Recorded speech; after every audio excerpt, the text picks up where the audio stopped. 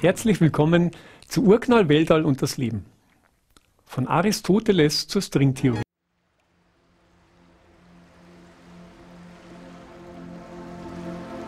Galilei wuchs als Novize im Kloster auf. Sollte ihm trotzdem nichts helfen am Ende. Nach seiner bahnbrechenden Beobachtung der Jupitermonde, Sie kennen die Geschichte, hat er natürlich große Probleme. Das war 1610, als er diese Beobachtung machte, mit diesen, er hatte ein viel besseres Fernrohr selbst gebaut, als es jetzt äh, Lippey bauen konnte. Am 7. Januar übrigens, am 8. Januar, tags darauf, hat ein Deutscher durch ein Fernrohr geblickt und auch die Jupitermonde dokumentiert. Simon Marius. Und die beiden waren anschließend verstrickt in einen Plagiatsvorwurf und Prozess. Eine längere Geschichte. Tatsache ist auf jeden Fall, der Jupiter, so viel war klar. Vier Monde hatte, konnte man sehen. Heute wissen wir, es sind 67. Aber die vier großen waren sichtbar und offensichtlich drehen sich die um den Jupiter herum. Das, sie bilden ein eigenes System. Und das hat dann Galilei doch nachdenken lassen. Er meinte, okay, dann wäre es doch denkbar, dass das das Grundprinzip ist. Dass es also immer irgendwo die Sonne zum Beispiel im Zentrum gibt und, und die Planeten drumherum kreisen. Die ganze Geschichte endet damit, dass er widerrufen muss. Mein Giordano Bruno war geweihter Priester und wurde am Scheiterhaufen verbrannt. Also es war sicher eine gute Entscheidung, hier zu widerrufen. Und das war übrigens einer der größten Beiträge der katholischen Kirche zur Wissenschaft. Anschließend Galilei zum Hausarrest zu verurteilen. Der war eingesperrt bis an sein Lebensende zu Hause. Und was macht ein Galileo Galilei eingesperrt zu Hause? Naja, er hat alles dokumentiert, was ihm aufgefallen war über diese Welt. Er hat Experimente aufgebaut. Er, war, er hat eigentlich dadurch begründet, was wir heute moderne Wissenschaft nennen. Beispielsweise war ihm aufgefallen, wenn Körper fallen, das war ja immer noch ungeklärt, Aristoteles zum Beispiel war der festen Überzeugung, okay, je schwerer so ein Ding ist, umso schneller fliegt es zu Boden. Wenn Sie also zwei Massen haben, unterschiedlich ausgeprägt, okay, dann wird die schwere Masse schneller fallen. So war bis dato der Stand der Dinge. Und da gab es aber schon ein Gedankenexperiment. Das, das hat ganz klar gezeigt, da, da gibt es ein Problem. Wenn Sie nämlich jetzt zum Beispiel zwei solche Körper mit einem ganz dünnen Faden verbinden würden, oder mit einer dünnen Stange, dann würde der eine schneller fallen als der andere. Das heißt, der leichtere würde ihn hemmen. Das ist erstmal eigenartig. Das würde nämlich bedeuten, dass dieser zusammengesetzte Körper aus diesen beiden, die, dieser Körper hätte eine höhere Masse als dieser Körper alleine, durch dieses Hemmen langsamer fallen müsste als, hm, als die Orange für sich. Also da, da war schon mal klar, hier stimmt was nicht. Und Galilei wird es jetzt auf eine völlig neue Dimension heben. Motiviert durch das Gedankenexperiment von Benedetti begann Galilei jetzt ein Experiment aufzubauen. Das, das Dumme ist, oder war, wenn so ein Körper zu Boden fällt, dann geht es einfach wahnsinnig schnell. Und die Zeitnahme war schwierig. Da gab es keine Stoppuhr. Also hat er alles Mögliche versucht. Er hat zum Beispiel sich überlegt, aha, wenn ich also mit einem Behälter Wasser ausfließen lasse und das dann anschließend wiege, dann könnte ich das als Uhr verwenden. Oder ich könnte meinen Puls zählen. Noch besser finde ich eigentlich die Geschichte mit den Trommlern. Hat also professionelle Trommler engagiert und hat dann äh, anhand dieser Frequenz, dieser Trommelfrequenz äh, Zeiten ermittelt. Schließlich wurde ihm klar, naja, so wird er das Problem nicht lösen. Wenn er das genau messen will, wie Körper fallen, dann muss er eine Zeitlupe erreichen. Und das ist eigentlich die geniale Idee gewesen, zu sagen, okay, wenn das Ding so fällt, geht es mir zu schnell. Also lasse ich es doch einfach mal eine schiefe Ebene hinunterrollen. Den Winkel kann ich einstellen. Dann wird es immer langsamer, immer langsamer, das Teil.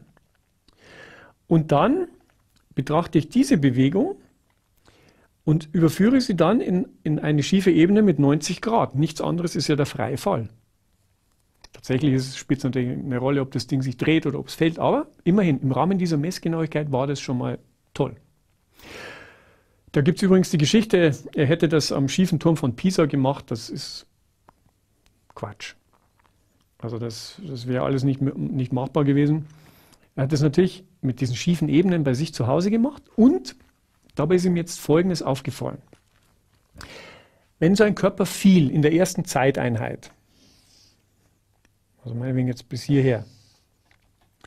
Das war jetzt eine, eine Entfernung 1 aus der Nulllage. Und dann hat er dieselbe Zeit wieder gemessen und dann war, hat er jetzt hier plötzlich ungefähr diese Entfernung. Vier. Viermal diese ursprüngliche. Und schließlich waren es dann neun und 16. Also Sie merken, die Abstände nehmen immer weiter zu. Irgendwann waren es dann 25, 36 und so weiter. Und jetzt erkannte er, dass diese Differenz, also wenn ich jetzt hier einfach mal sage, okay, hier haben wir 3, hier haben wir 5, hier haben wir 7, hier haben wir 9. Also immer die Differenz zwischen zwei Bereichen, die wuchs um eine Konstante. Die erhöhte sich jetzt immer um 2. Und das war spannend, weil das ist hier einfach der Weg. Der Weg, den die Masse jetzt fällt. Und dieser Weg, der wuchs offensichtlich in irgendeiner Form quadratisch. 2 mal 2 ist 4, 3 mal 3 ist 9, 4 mal 4 ist 16. Diese Differenz, die erhöhte sich um einen konstanten Beitrag. Man, was ist diese Differenz? Das heißt, die Geschwindigkeit, mit der der Körper fällt, erhöht sich konstant. Das, das war die, die Erkenntnis. Er, er hat also festgestellt, wenn ich, wenn ich so einen Körper fallen lasse, also einmal habe ich sowas wie dieser Weg, den der Körper fällt, das ist dann sowas wie eine Konstante, die nenne ich jetzt mal ein halb a. und es geht quadratisch mit der Zeit. Und er erkannte die Geschwindigkeit, mit der sein Objekt fällt. Das geht mit der Zeit, auch mit einer Konstante. Und aus dieser Überlegung heraus, lange vor Infinitesimalrechnung, bevor man irgendwas ableiten konnte oder machen konnte, also ein Jahr nach Galileis Tod erst wird Isaac Newton geboren, der dann diese Dinge natürlich wesentlich eleganter gerechnet hat durch Differenziation dieser Funktionen. Dem klar war, dass die Änderung des Ortes mit der Zeit eben die Geschwindigkeit ist. Aber Galilei war es hier schon klar, dass sich beim freien Fall die Strecke mit der Zeit quadratisch ändert und die Geschwindigkeit konstant zunimmt. Also das ist schon mal Das ist schon mal großes Kino aus meiner Sicht. Diese Geschichte mit dem einhalb übrigens, das sieht man auch sehr schön daran, wenn Sie hier mit einer Konstante wachsen. Eigentlich nehmen Sie ja, um die Strecke zu messen, die mittlere Geschwindigkeit. Und die mittlere Geschwindigkeit, da schleppen Sie sich dann diesen Faktor 1,5 ein. Das ist eigentlich der Punkt. Aber okay. Das hier. Newton wird es später wesentlich, wesentlich eleganter rechnen. Er wird einfach sagen, okay, das ist der Ort und die Geschwindigkeit ist die Ableitung des Ortes nach der Zeit. Also er wird einfach so sagen wie dx nach dt, also die Änderung des Ortes in Abhängigkeit von der Zeit. dann leiten Sie das hier einfach nach t ab. Das ist jetzt hier der Punkt, wo wir mal differenzieren. Das zeige ich Ihnen hier an diesem ganz einfachen Beispiel, um Sie zu motivieren, sich das selber anzuschauen, falls Sie das nicht mitbringen. Was wir hier kriegen, wir kriegen 2t. Der Zweier geht mit dem 1,5 weg und was hier bleibt, ist dann a mal t.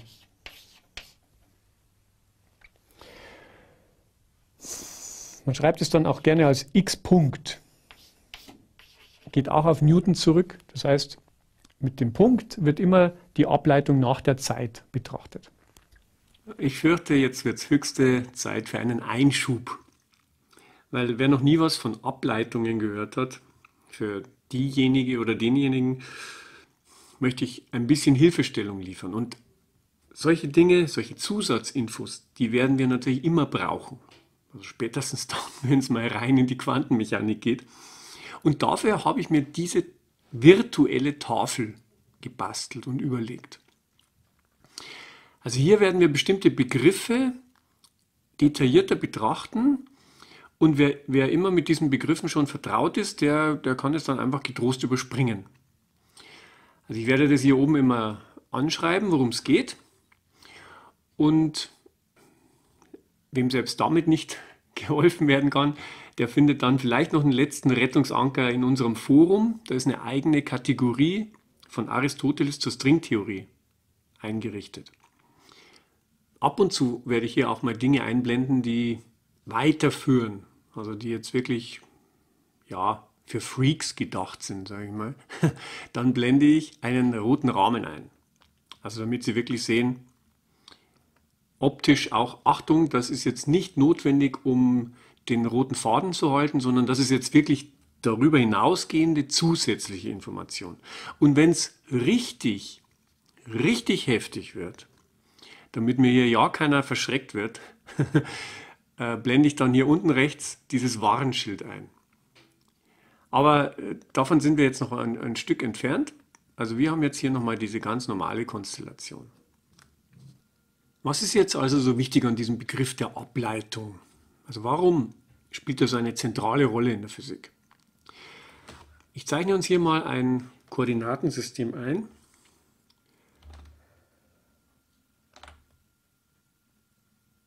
Und dann trage ich eine, einen beliebigen Funktionsverlauf ein. Das könnte jetzt zum Beispiel das Profil einer Bergwanderung sein oder sowas in der Art. Es geht also relativ flach los. Hier unten bei 0 auf dem Nullniveau. Und dann wird es ja immer steiler und steiler und steiler den Berg hoch. Also wir nennen das hier einfach mal vielleicht y. Und diese Größe hier, die nenne ich einfach mal x. Das heißt, ich gehe x Schritte in irgendeine Richtung und dann schaue ich, um, um welch, wie viel Höhe gewinne ich auf meiner Bergwanderung. Jetzt kann man sich überlegen, an einer beliebigen Stelle, was passiert eigentlich, wenn ich einen weiteren Schritt mache auf meiner Wanderung? Ich trage das hier mal ein. Also ich mache einen Schritt in x-Richtung. Und dann stellt sich die Frage, um wie viel wie viel Höhe gewinne ich jetzt eigentlich? Mache ich vielleicht in einer anderen Farbe. Also das wäre jetzt hier so eine Differenz in y, wenn ich das hier mal eintrage. So wie ein dy. Und hier unten Das war die Differenz in x.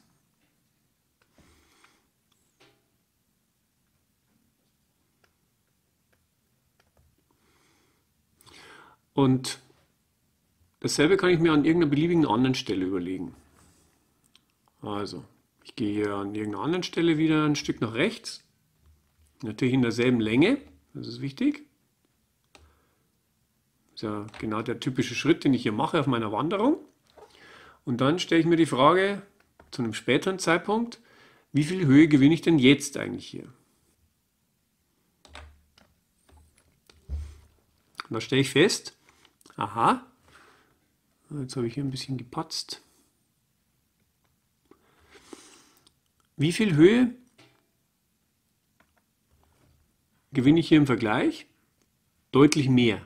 Also das dx ist immer das gleiche.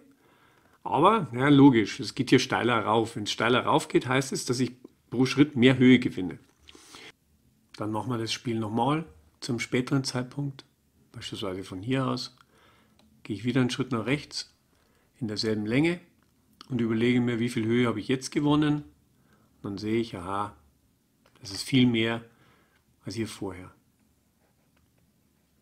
Also dieses dy nimmt hier offensichtlich zu, ist auch zu erwarten, weil es hier eben immer steiler bergauf geht und deshalb immer mehr Höhe pro Schritt zu überwinden ist. Mit diesem Verhältnis von dy nach dx bekommen wir also an jedem Punkt dieser gelben Kurve, dieses Verlaufs, eine Aussage darüber, wie stark sich die Kurve hier ändern wird, wenn man sich ein bisschen weiter bewegt. Also wie steil es hier abgeht. Man nennt es auch die Steigung, völlig analog zu unserem Beispiel mit dieser Bergwanderung. Und ganz allgemein schreibt man es dann eben jetzt hier als dy dividiert durch dx oder nach dy nach dx, wie man das spricht.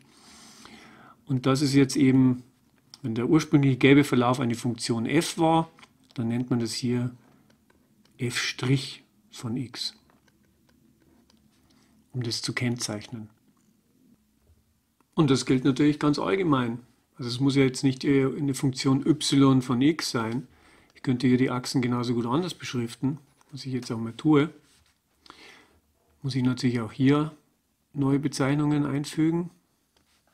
Wir wollen ja auf das Beispiel hinaus von, von Galilei. Und der hat ja hier eine durchfallene Höhe beobachtet in Abhängigkeit der Zeit. Also ich benenne das hier wieder in Abhängigkeit der Zeit. International nennt man das T für Time. Und hier könnte ich jetzt Höhe schreiben oder was auch immer. Also man nennt es hier einfach auch x. Dann kriegen wir also hier unten eine Funktion x von t. Ich wische hier nochmal weg und schreibe es richtig an. Hier haben wir also einen Verlauf x von t. Entsprechend haben wir hier jeweils ein dx und das grüne hier wäre jeweils ein dt. Und das können wir jetzt an jedem beliebigen Punkt natürlich machen.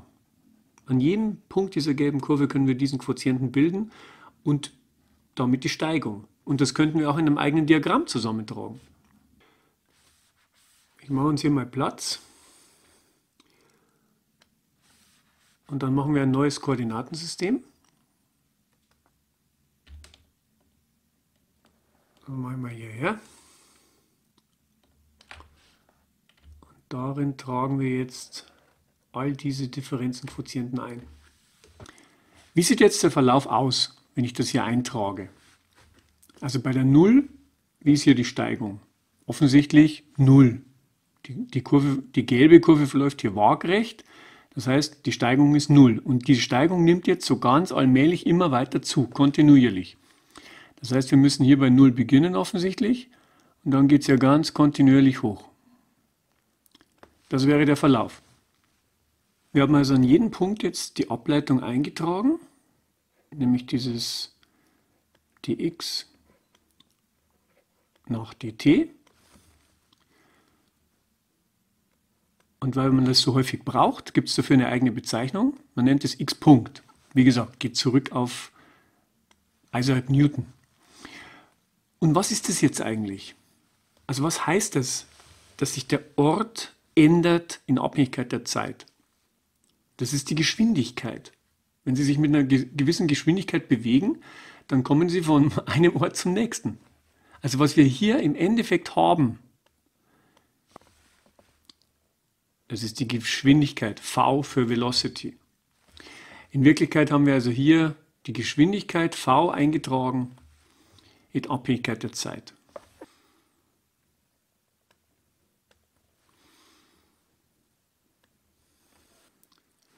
Wie sieht es jetzt aus, wenn ich von dieser Geschwindigkeit wieder die Ableitung bilde? Also wenn ich hier wieder Dreiecke einzeichne.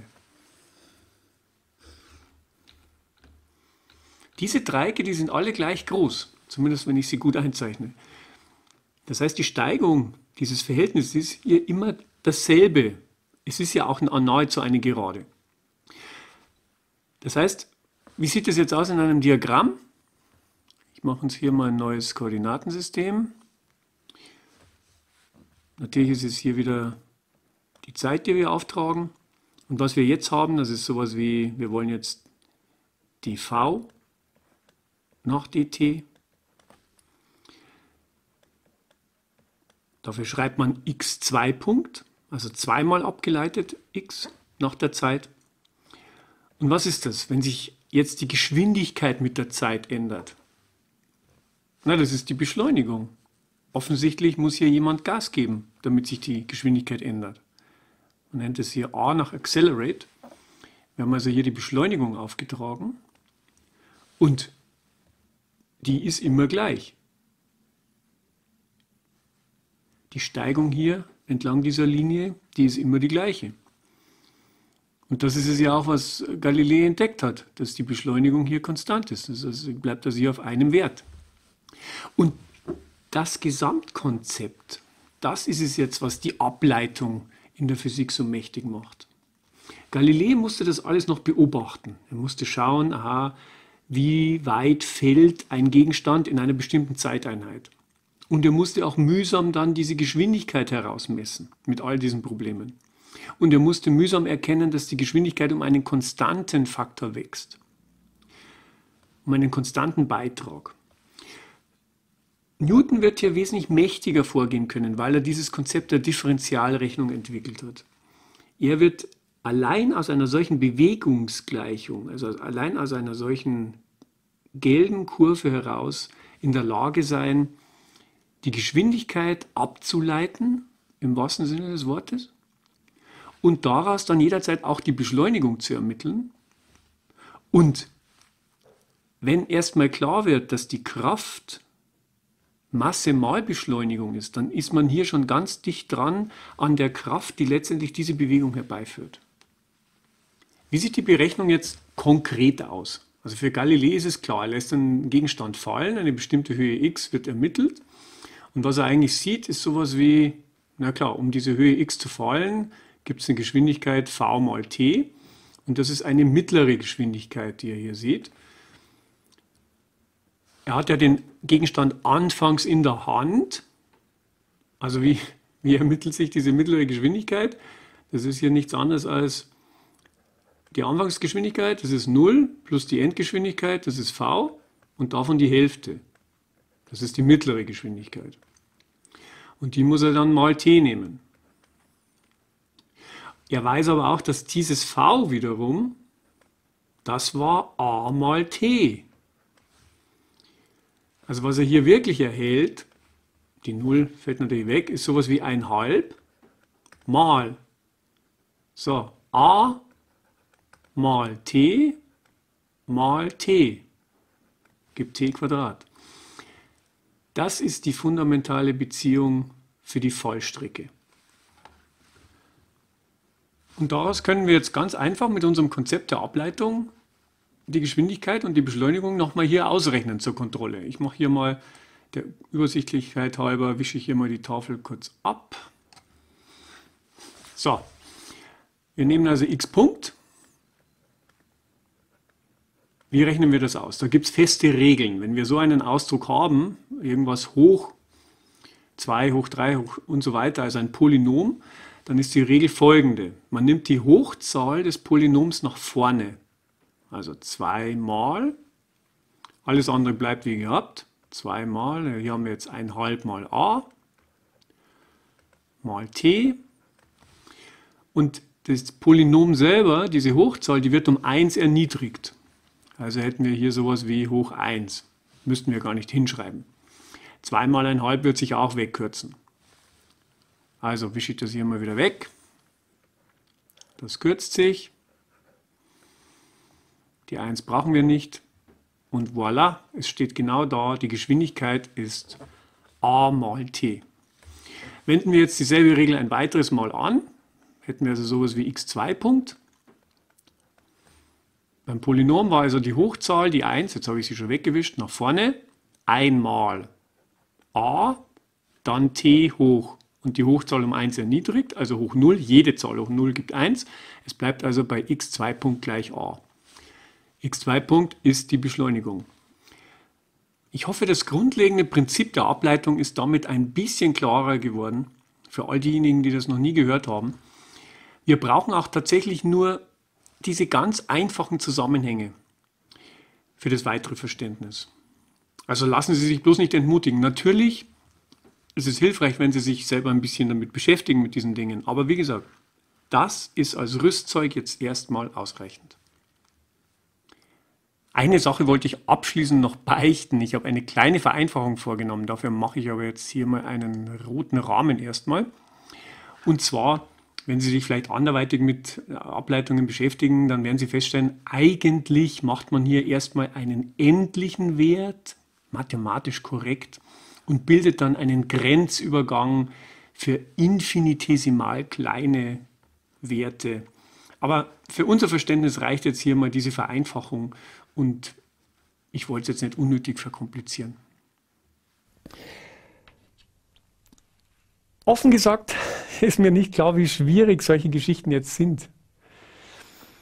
Und ich hoffe, dass Sie mir da ein bisschen Rückmeldung geben, damit ich weiß, wie wir weiter vorgehen, wie, wie detailliert ich sowas dann erkläre beispielsweise. Ich wäre jetzt einfach mal der Hoffnung, dass diese, dass diese Konstruktion verständlich ist.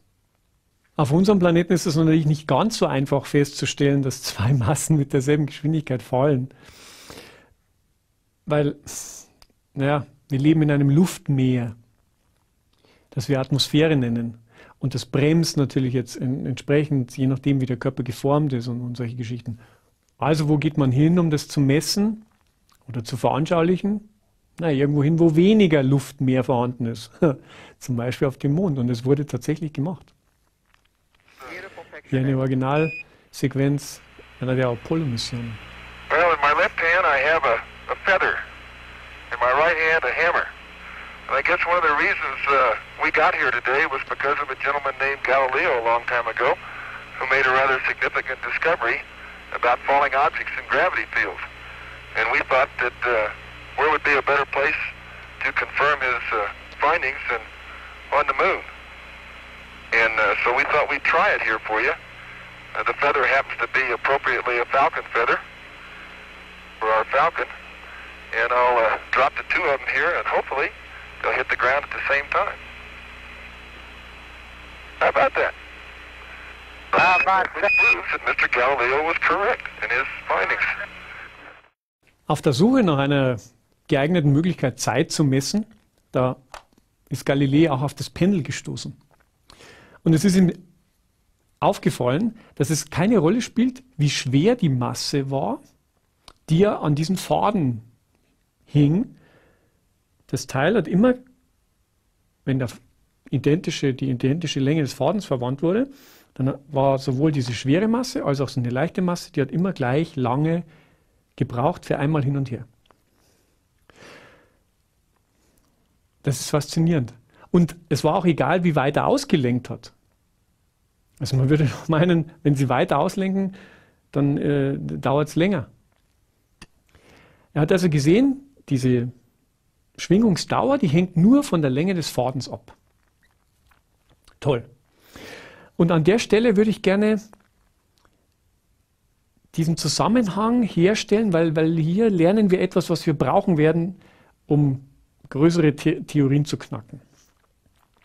Also erstmal mache ich eine kurze Skizze. Wir haben also hier, das wäre die Ausrichtung. Und jetzt lenken wir ein Stück aus. Und dann lassen wir das Ding hier mal schwingen. Und an diesem Punkt, da wäre jetzt eine gewisse Beschleunigung nach unten. Können Sie hier mal grün einzeichnen. Ich nenne das mal G. Und natürlich gibt es auch eine gewisse Beschleunigung hier zurück zur Mitte. Klar, die nenne ich jetzt einfach mal A. Radial vielleicht. So, und dann nehme ich einfach dieses Dreieck. Und dann sehe ich, aha, hier gibt es einen Winkel Alpha. Und der Winkel Alpha, der taucht auch hier unten wieder auf, Stufenwinkel. Und damit kann ich die beiden in Beziehung setzen. Ich sehe also, dass diese rücktreibende Beschleunigung, die wäre jetzt g mal Sinus Alpha. Und hier könnten wir das jetzt auch wunderbar ausrechnen. Wenn nicht der blöde Sinus wäre. also Galilei hat ja schon mal gezeigt, aha, diese, diese Dauer, diese Schwingungsdauer, die hängt jetzt einfach nur, da gibt es einen Vorfaktor, das ist nicht so spannend. Und dann geht es praktisch hier nur Wurzel aus dieser Länge und dieser Gravitation, wie wir heute wissen, was er eben noch nicht wusste, die nach unten zieht. Und wir könnten jetzt hier diese Beziehung auch wunderbar rechnen, wenn dieser blöde Sinus weg wäre. Warum kann man jetzt für kleine Winkel, für kleine Auslenkungen tatsächlich den Sinus Alpha ersetzen ungefähr mit Alpha. Für kleine Winkel wohlgemerkt. Und das, das wird uns eine, eine neue Tür öffnen. Das würde, würde ich Ihnen gerne ausführlich zeigen. Dafür gehen wir am besten wieder in unsere virtuelle Tafel. Ich habe also die Skizze hier nochmal ein bisschen schöner gemacht. Wir haben also eine Auslenkung um einen Winkel Alpha. Wir lenken diese Masse aus und dann gibt es eine rücktreibende Kraft, die nenne ich jetzt nur noch A. Die wird natürlich bestimmt hier durch die Anziehung. Und dieser Winkel Alpha, naja klar, der tritt hier wieder auf. Und dann sieht man schon mal sehr schön, aha, a könnte man hier jetzt unten nochmal auftragen. Und dann hätten wir ein Sinus Alpha, wäre also hier a durch g. Und deshalb kriegen wir hier sehr schön dann diese Beziehung. Wie bekommt man überhaupt einen Sinus jetzt grafisch? Also diese Masse hier, die würde jetzt hier so ganz allmählich hin und her schwingen. Und das könnte ich jetzt hier endlos betrachten. Oder ich könnte das Ganze zeitlich auflösen, indem ich jetzt ganz langsam zusätzlich auch nach oben gehe. Und wenn ich das tue, dann erhalte ich genau diese Funktion. Schöner aufgetragen in einem Diagramm sieht es dann so aus. Das ist jetzt diese Sinusschwingung. Wir haben also hier eine Schwingung und die lösen wir hier zeitlich auf. Wir haben also hier aufgetragen Alpha und hier diese jeweilige Auslenkung vom Nullpunkt entfernt. Und dann war jetzt a gleich g mal Sinus Alpha. Tja, und Galilei, der wusste gar nichts von dieser ganzen Sinusgeschichte. Und der war offensichtlich sehr erfolgreich in seiner Beschreibung, bei der er einfach angenommen hatte, diese rückstellende Beschleunigung, die ist linear. Hängt also einfach nur davon ab, wie weit ich hier auslenke. Da war also irgendwie sowas in der Art. Natürlich könnte ich jetzt hier diese, diese Konstante wieder mitnehmen. Dann hätte ich hier sowas wie ungefähr gleich g mal Alpha. Also wieso kann man hier einfach den Sinus Alpha ersetzen durch Alpha. Das wäre doch toll, wenn wir da allgemein irgendwie kompliziertere Begriffe, kompliziertere Terme ersetzen könnten mit ganz einfachen Termen. Und genau deshalb möchte ich das zeigen. Das Verfahren nennt sich ganz allgemein Linearisierung. Linearisierung bedeutet, wir ersetzen einen Verlauf durch eine Gerade. Und die wählen wir natürlich jetzt möglichst geschickt. Das heißt, natürlich lassen wir die Gerade durch einen Punkt gehen, durch den die Funktion auch geht. Also hier durch den Nullpunkt beispielsweise. Und dann nehmen wir genau diese Steigung, die jetzt dieser Verlauf eben an dieser Stelle hat. Ich zeichne das hier mal ein. Rot. Das wäre jetzt eine Gerade mit genau dieser Steigung im Nullpunkt. Und wie bekommen wir genau diese Steigung? Na, durch die Ableitung wieder.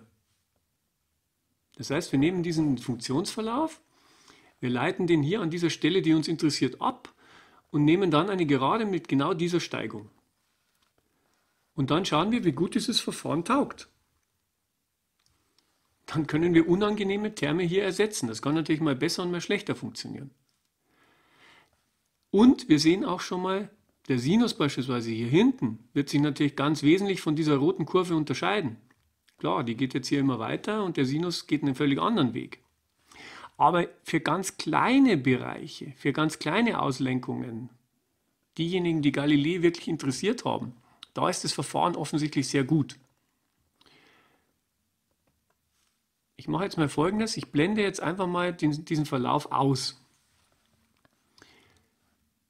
Wenn Sie gar nicht wüssten, wie der hier weitergeht, dann würden Sie mir zustimmen, innerhalb dieser schmalen Grenzen funktioniert es toll, den Sinus weiß zu ersetzen durch Rot diesen, diese Gerade. Man sieht den ursprünglichen Sinus kaum mehr. Daran sehen wir natürlich auch gleich mal die Schwäche des Ganzen. Also wenn wir jetzt den Block ein bisschen weiter schieben, hierher beispielsweise, und entsprechend den linken, linken Block ein Stück weiter schieben, dann sehen wir, naja, wenn wir uns zu weit entfernen, dann bekommen wir schon mal einen Fehler. Wenn wir hier nur 30 Grad auslenken, dann ist der Fehler kleiner 2%. Selbst bei 90 Grad Auslenkung, da wäre der Fehler jetzt 18%. Also so weit wollen wir natürlich nicht gehen. Das heißt, wir betrachten ungefähr diesen Bereich und innerhalb dieser Grenzen ist das Ersetzen absolut erfolgreich und legitim.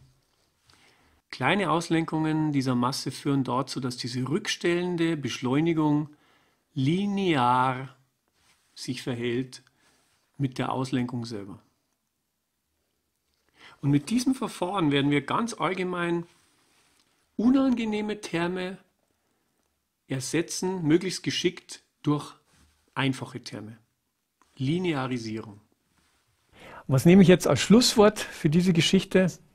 Mir würden zwei Dinge einfallen. Einmal hat mir sehr gut gefallen, was Tycho Brahe an einen Eingang seines Observatoriums geschrieben hat oder in Stein gemeißelt hat. Und zwar hat er geschrieben, weder hohe Ämter noch Macht überdauern. Einzig die Zepter der Wissenschaft. Wunderbar. Oder, weil wir von Galilei gesprochen haben, da finde ich schon bemerkenswert, es gibt Irrtümer, die überdauern die Zeit und es gibt Irrtümer, die werden korrigiert. Wissen Sie, wann die Kirche das Unrecht widerrufen hat, das sie Galilei angetan hat? Was denken Sie? Es war 1992. 359 Jahre nach dem Unrecht hat die katholische Kirche anerkannt, dass sie Galilei zu Unrecht verurteilten. Also, es ist nur eine Frage der Geduld, bis man Recht erfährt.